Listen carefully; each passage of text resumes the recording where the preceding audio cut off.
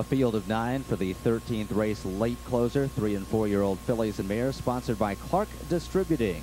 They're the distributors of Coors and the Miller products in the Lexington area. They're heading toward the start for the 13th race.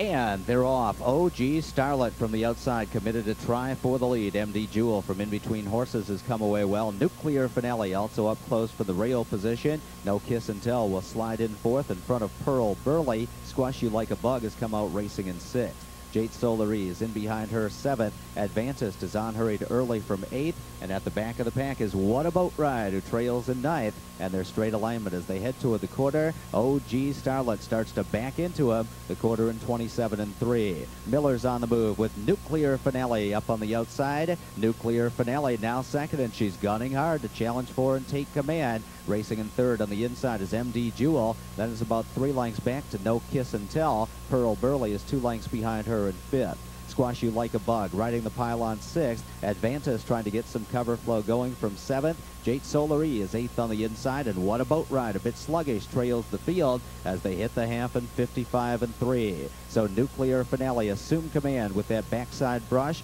and she's a length in front of OG Starlet. Right there in third is MD Jewels, followed all the way. No Kiss and Tell now comes first over, and Pearl Burley tracks that move. She's second over on the outside, just five lengths from the lead. Advantis finds herself third over. Shuffled back is Squash You Like a Bug. Jade Solari fourth over in eighth position. And What a Boat Ride is gapped out last as they pace past the three-quarter marker in 125 and 1. And it's Nuclear Finale as they come to the top of the stretch. And Nuclear Finale still pacing strongly with a two-length lead. OG Starlet waiting as long as possible in behind her. And now Fred Finn wheels her to the outside. And it's Nuclear Finale digging in with a two-and-a-half length margin. OG Starlet is second. No Kiss and Tell racing in third. Nuclear Finale is going to give Dave Miller his fourth win on the card. Nuclear Finale despite a busted wheel disc in 153 and 2. Finishing second was OG Starlet. No Kiss and Tell third. Returning to the winner's circle, number one, Nuclear Finale. The newest acquisition of the FS Stars stables from Glenwood, New Jersey. Dave Sampatelli trains, and what a day for Dave Miller here at Lexington. That's his fourth winner on the card. Nuclear Finale is a nuclear siren, Ohio-bred three-year-old of the Niatross mare Carnegie Hill.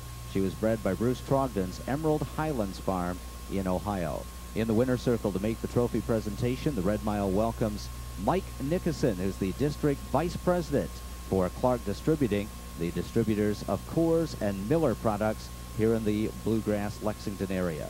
So it is official, and it's nuclear finale for the FS Star Stables. Dave Sampatelli and Dave Miller in 153 and 2 fifths.